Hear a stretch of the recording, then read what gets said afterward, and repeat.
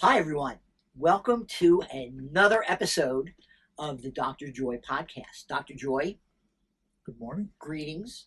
Thank you. Liv, Good morning. how are you? I'm good. How are you? I'm doing well, thank you. My name's Gary Metzger. I'm a professor of journalism at California State University, Long Beach, and it is always my joy once a week to grill Dr. Joy and get his comments and impressions on Joy, the Joy Score app, and any topic that comes to my mind. And I love to see how quickly Dr. Joy reacts to what I have to talk about. Sounds good. And today, I would like to talk about the convergence of joy and hope.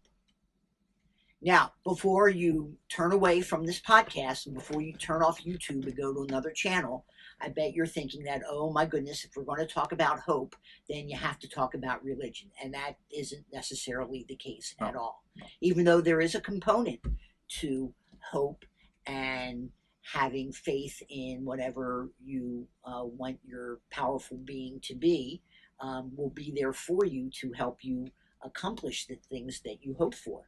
Um, in fact, being joyful in hope uh, means choosing faith in every situation with whatever higher being you choose to um, follow and talk to and, and pray to. Um, while we don't yet see what will happen in the future, we can hope for the best. And no matter what circumstance we encounter, um, we experience joy and hope because joy is based on a relationship with God, whatever God you choose to um, to pray to. Um, that that higher being offers us hope, uh, and happiness comes and goes as our circumstances change. So there's some research out there, Dr. Joy, that says um, to get that confluence of hope and joy, couple of things that you can do. Okay. Think of a goal that you're aiming for and do one thing to get it started. Number two, share how you really feel with someone you trust and be willing to ask for help.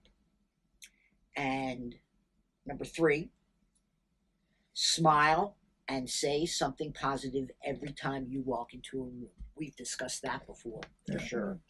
And finally, be as kind to yourself as you are to others. I mean, some of us even keep a a, a book of gratitude of things Yeah. that we're grateful. Am I right? Yes. Yeah. Yes. So, what do you think about those goals? I think they're all very good. And uh, you were saying something about religious component or how necessary it is Yes. or higher power or God. You know, if someone doesn't want that to be part of their thinking or approach, hope is a very common reality of human life. Without hope, you almost have no life, you know, because uh, I'll give you a simple example. So, um, somebody approached us uh, who has 400 people who go into homes to help older people with their daily chores and things. It's called Home Help Program. There are 400 people, it's a huge network. And so the person who owns the company said, Look, uh, Joy Score project and app can help my employees keep their stress within range or reduce the stress because it's a stressful job, you know. I say absolutely. So we kind of have simple techniques, not very complicated. We use things like uh, universal meditative breathing, you know, three, uh, seven, eight, and breathing seems to really be instantaneous in terms of bringing you physiological change and your stress level. I mean, you do that three times and you can almost feel that there's a difference in, in you. We did that with Matt's company, you know, with his employees. And then he said, you know what? Not only um, my employees, even our clients could benefit from it. Because they have, in some ways, lost hope in life. And this could bring that hope back because they can see a, a way to be able to improve their joy score. And I said, absolutely, you know, because hope is uh, almost motivational. When you have hope, your self esteem uh, is impacted in a positive way. And you start doing all those things you mentioned, like four things, uh, to to improve the chance of success in what you're trying to achieve. So, I think, um, um, irrespective of age group, hope is very important for every human being. I think it's important, and I love that you mentioned irrespective of, of age group, Yeah. because, um, and everybody, a great website besides the Joy Score app, of course. Um, there's a great uh, website called greatergood.berkeley.edu. They published um, some findings um, and talking about age groups and everything um, a study from Harvard University, someplace that you're familiar with, Dr. Joy. Yeah, yeah. Um, Harvard University's Human Flourishing Program. Uh, they recently uh, published a study. Researchers examined the impact of hope on nearly 13,000 people with an average age of 66. Okay. they found, Dr. Joy, those with more hope throughout their lives had better physical health, better health behaviors, better social support, and a longer life.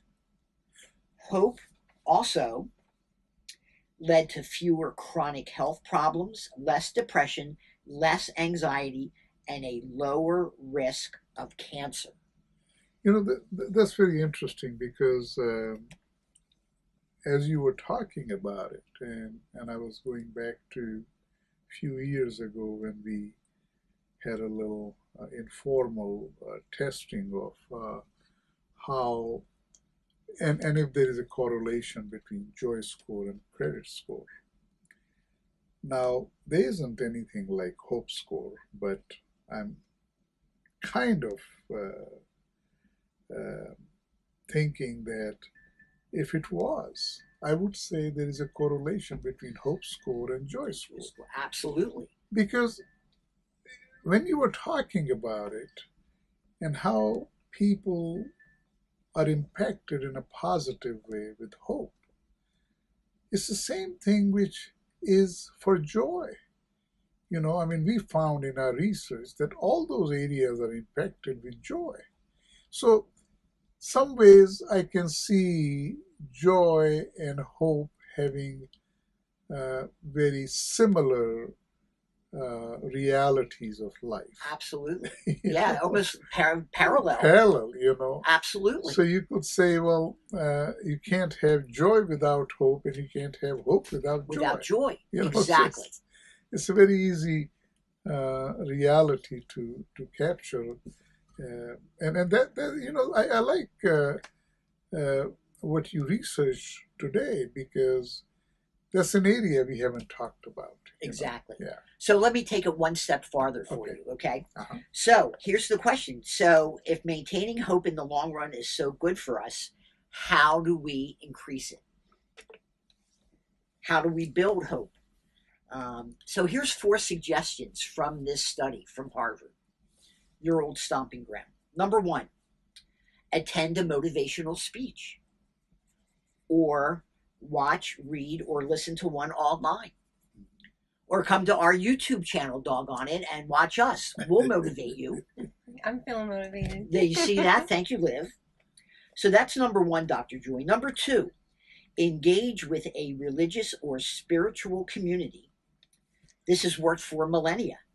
Uh, amidst a community of like believers, people have drawn strength, found peace, and experienced the elevation of the human spirit just by knowing there is something or someone much larger than them. Number three, forgive. Participating in a forgiveness group or completing a forgiveness do it yourself workbook builds hope, say scientists. It also reduces depression and anxiety, two things which we know are usually right at the top Yeah. of Google's most Search, searched. yeah. Absolutely. Um, uh, this will increase your capacity to forgive. Um, even with long held grudges and everything. Um, successfully forgiving someone provides a sense of both the willpower and way power to change. And number four, and this goes for me because I know who mine is. I'm looking at him right there. Choose a hero of hope. Some have changed industries. Nelson Mandela endured 27 years of imprisonment. Franklin Delano Roosevelt brought hope to millions for a decade during the Great Depression. Um, Katherine Johnson. Now you're probably saying, who's Katherine Johnson? Did you ever see the movie Hidden Figures? Yeah. Katherine Johnson was a black mathematician who had a critical role in the success of NASA, especially with John Glenn on Friendship Seven Yeah, and they- his uh, and his and his flight into space and everything. Um, some see her as a hero. Uh, she died a couple years ago, but yeah, um, yeah. So So there's four things right Yeah. there. I think um, it. um I, I find it very uh, enlightening because um, you could almost say those four things would help anyone improve joy. So, I guess um, what is uh, becoming clear that there are a lot of similarities in um, reality of joy and hope and how to improve joy and hope you know in fact uh, uh, you you said number three was forgive Yes, yes. And- number three was forgive. yeah and also well let's go back for a second motivation was number one Motivate. Yeah, a motivational speech. speaker. Actually, there are some videos uh, which uh, they have, which are motivational. which we have. Yeah. Yeah. and and they're also being claimed to help hope. You know, and spiritual versus religious. You know, and in my opinion. Uh, I like to briefly talk about the difference that I understand between religion and spirituality. In fact, I believe that uh, mankind has uh, advanced in science, technology, uh, tech, uh, AI, and everything. But what we have not advanced in is the understanding of spirituality. And I'm not talking about religion. You know, to me, religion is a very basic level of understanding that we can say is a spirituality, but it's really not. It could have a lot of connotation and propaganda, you know, which is based on a religion. Right. Um, if um higher power, as you were mentioning earlier, is one, then why we have all these religions who are creating uh, their own methodologies. Uh, so when you go into spirituality, then it loses the essence of religion, but it becomes more pure understanding of human reality. And, and forgiveness also has an element uh, which uh, I like to think is part of it, which is act of kindness, because forgiveness is act of kindness. You you being kind to someone who you felt um, you have to get even with or whatever. Right. know. So that is another form of act of kindness, and act of kindness is the best thing one could do to improve hope and joy because that just makes such a difference.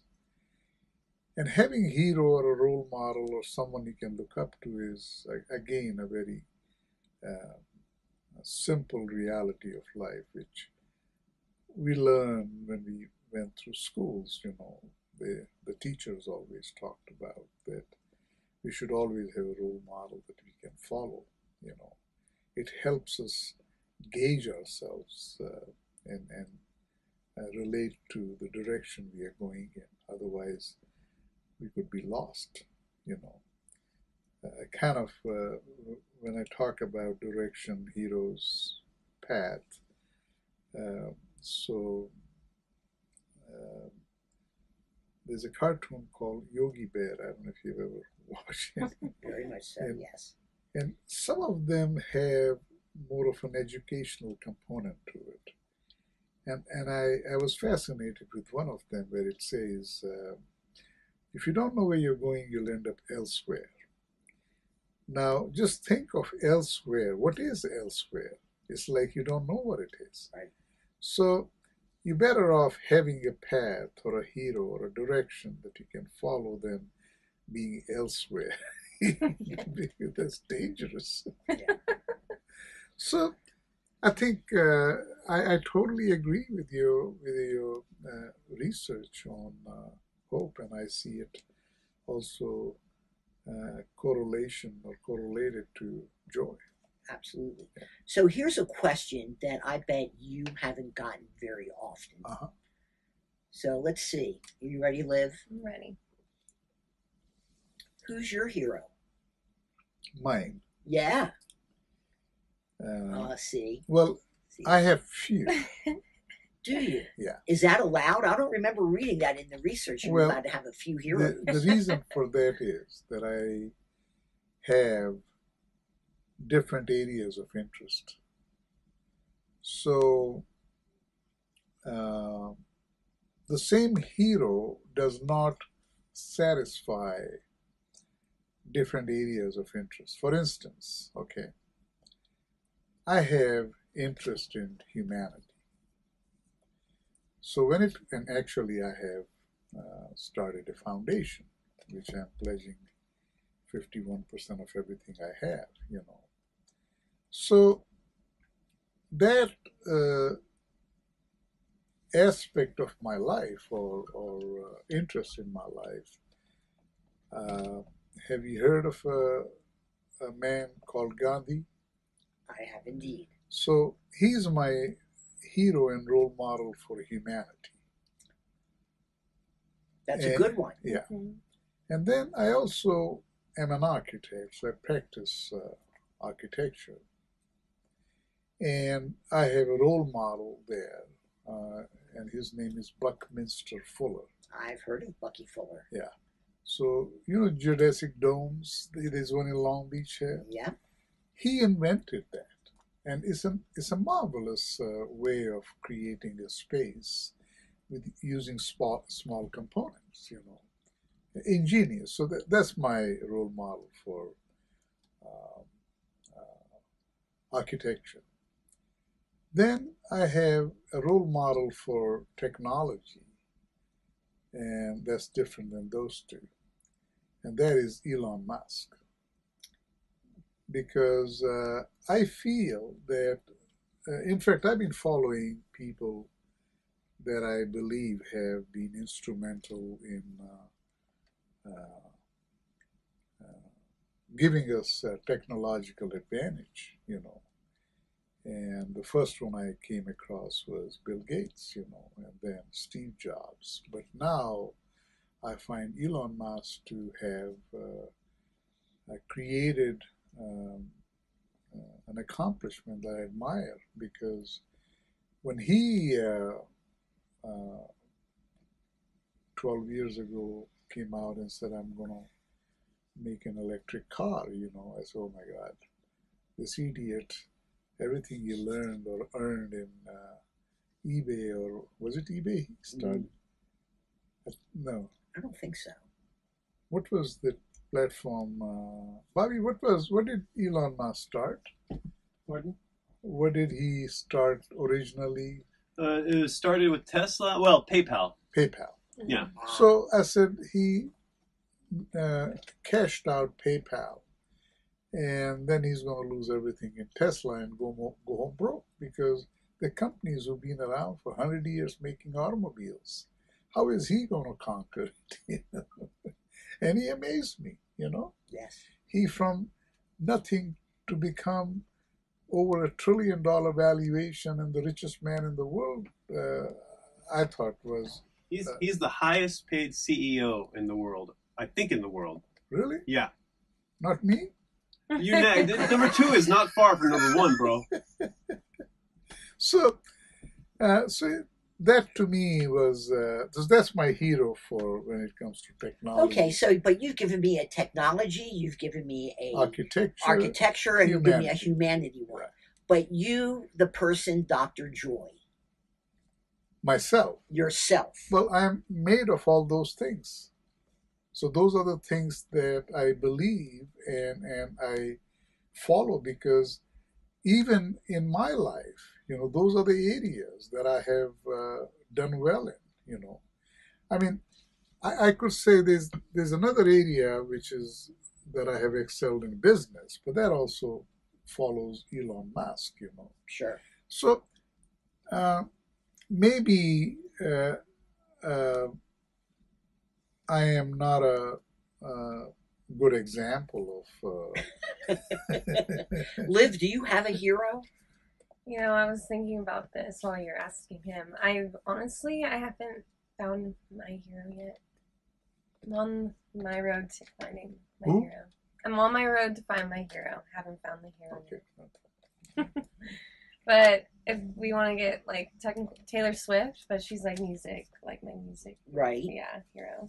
But yeah, that's it. You know, uh, you'll find one sooner Yeah. or later because uh, I literally thought about this question actually like a couple months ago, and I just sat there. I was like, I really don't know who I like can look up to right now. That's just where I'm so here is your uh, kind of an answer. So another part of the study says that with um, with teenagers and young or middle aged adults, hope is a bit easier than it is with the over sixty crowd, um, because aging often means running up against obstacles that appear unyielding, uh, like recurring health or financial or family issues that just don't seem to go away. Um, so yeah, that was interesting. But um, psychologists tell us that hope involves activity, a can-do attitude, and a belief that we have a pathway to our desired outcomes. Hope is the, as I said, hope is the willpower to change and the way power to bring about that, um, bring about that change, and the assumption that a positive outcome is inevitable.